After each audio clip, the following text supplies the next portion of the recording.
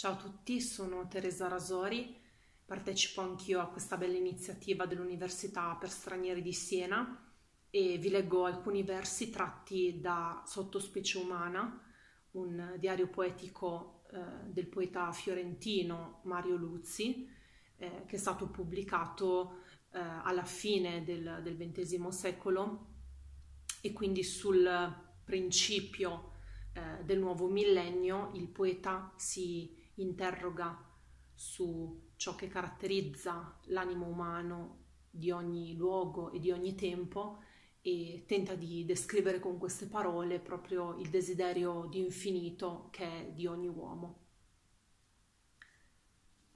Di che è mancanza questa mancanza, cuore, che a un tratto ne sei pieno? Di che? Rotta la diga ti inonda e ti sommerge la piena della tua indigenza.